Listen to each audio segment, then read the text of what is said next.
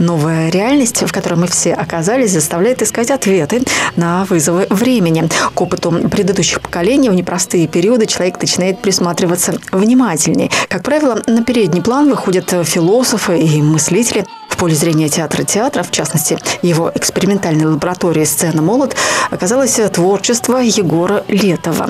Музыкант, поэт, человек, который самостоятельность мышления, самообразование, интеллектуальную независимость ценил выше конформистского комфорта. Премьера, которая так и называется «Летов», эволюционировала из эскиза лаборатории молодой режиссуры и площадкой для показа стал концертный холл «Свобода». Егор взаимодействовал как бы напрямую с реальностью, э, в которой, ну, как мне, говорю, вот мне кажется, э, видел абсурд, и ему было по этому поводу очень больно. Очень больно, очень неприятно, очень дискомфортно. И он как бы предлагал по этому поводу проораться. Все, что нельзя, можно здесь. Я просто очень люблю Егора Летова. В первую очередь, наверное, все-таки его поэзию.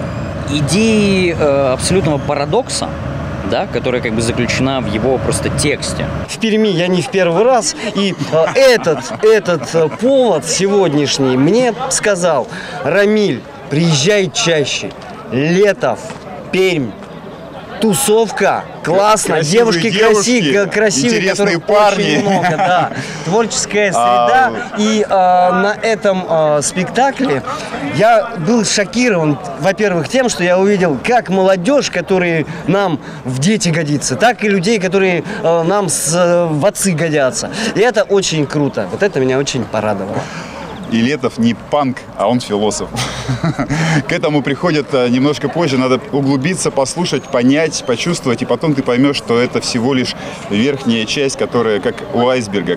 Авторы премьеры считают, что задача проекта – создать поле для дискуссии. Оригинальный прием может генерировать новые направления в развитии театра, привлечь новую аудиторию. Планируется, что у проекта будет продолжение, серия постановок в духе ЖЗЛ. Полина Рифа, Владислав Рашидов, телекомпания «Ветта».